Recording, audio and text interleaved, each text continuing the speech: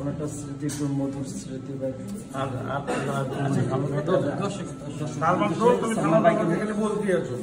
Salman দর্শকগুলো cinema হয়েছে সালমান সলমান সলমান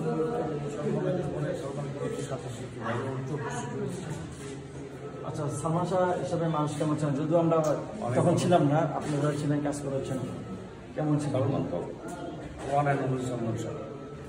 আমি সলমানের পর আর কোনো, সলমানের বিকল্প কোনো কাউকে দেখতে পাই আমরা দেখি কিংবা এরকম হ্যান্ডসম কিংবা স্টাইলিশ ছেলে, এখন শাকিব খান তার কিছুটা মানে পথ কাবার করছে আর কি।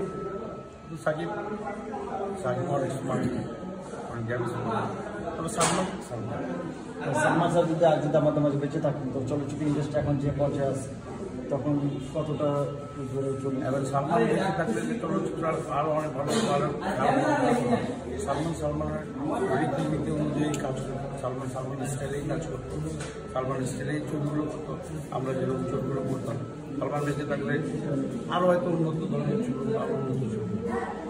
তো সালমান শাহ ক্যারিয়ারে আপনার ক্যারিয়ারে কিন্তু সময়টা খুব কম ছিল।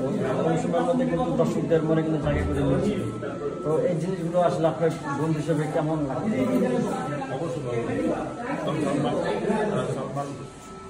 সব দিক থেকে সব দিক থেকে এরকম একটা ছেলে এরকম handsome একটা কেন মানুষের দর্শকে কোনো জায়গা? আচ্ছা ভাইয়া সালমান সাথে কি আপনার কোনো একটা স্মৃতি একটু মধুর স্মৃতি বা আর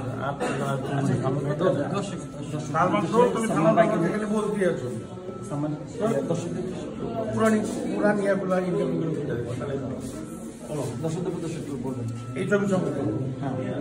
এই ছবিতে আপনার যুক্ত হয়েছেন ডাক ছবিতে কীভাবে সরি আচ্ছা। ইয়ে এই ছবিতে আমরা কাজ করছি এটা হিরোটা নতুন প্রোডাকশন নাম ছবির নাম ডার্ক এই ছবিটা আশা করি অনেক ভালো হবে ভালো করবে কারণ কোয়ালিটিফুল কাজ ছাড়া আমি কখনোই করি না যখন দেখলাম এই ছবিটা আসলে কোয়ালিটিফুল একটা ছবি এই জন্য করলাম এবং যে সাথে কথা বলে যে একটা বলব সুযোগ তখন আমি বললাম যে একটা সুন্দর ছবি অবশ্যই করব এই জন্য করলাম যে ভালো লেগেছে কাজ। ডাক বাদে কি হাতে আর কোনো কোনো ছবি কাজ বা আমার অনেকগুলো ছবি কাজ চলছে অনেকগুলো ছবি ছেড়ে দিয়েছি কারণ ফ্যামিলিগতভাবে বিজি আছি ফ্যামিলির কাজ নিয়ে ফ্যামিলি মিটিং এখন ঘটনা হচ্ছে আমার আগামী শুক্রবারে রিলিজ পাবে অপারেশন গত শুক্রবারে রিলিজ না। আবার গত শুক্রবারে রিলিজ পেয়েছে এই আগামী শুক্রবারে রিলিজ বিশেষের প্রথম ছবি এবং এটাও খুব, খুবই সুন্দর একটা ছবি। যদিও ছবিটা চা শ্রমিকদের উপর সিলেটের একটা চা বাগানের শ্রমিক